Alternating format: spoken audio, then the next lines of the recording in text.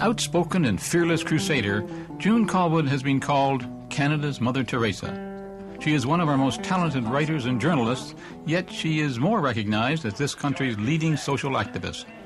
We need all of us in the media to show respect for our craft. Adapting to the distortions of a society in torment will only abet dysfunction. Instead, let us do this. Let us hold to an ideal of objectivity, recognizing humbly that it really isn't possible to achieve but nothing else is worth the candle. Let us be very good at what we do. Let us be very, very good. She has been a journalist for 58 years.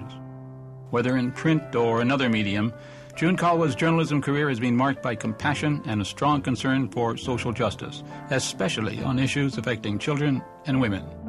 It's more than makeup they put on. They put on the jokes because they're shy people. In the late 50s, June's career changed direction and she started doing on air television work.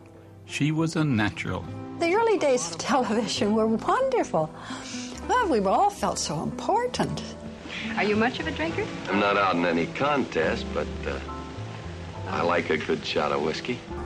Hi, I'm June Callwood, and the show is in touch. Despite her busy writing and television life, she has founded and co founded more than 50 social action organizations, including Nellie's Hospital for Women, Jessie's Center for Teenage Mothers, Casey House Hospice for those with AIDS, PEN Canada, and the Canadian Civil Liberties Association. There's 10,000 when I'm starting something that is needed, absolutely needed, and I've got the credentials to show that it's needed, the kinds of people who are involved in it are the people who know most about it.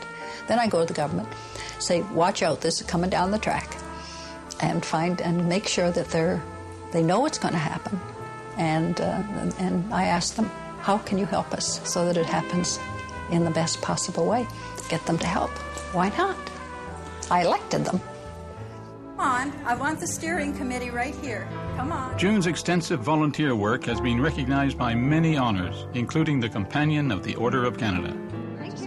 June Callwood is proud to call herself a journalist, as it is a career about communications and relationships. And it is her relationships with family, with friends, and colleagues that remain the most cherished part of her life.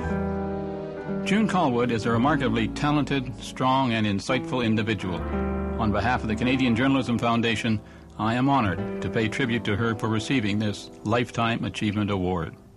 I'm Knowlton Nash.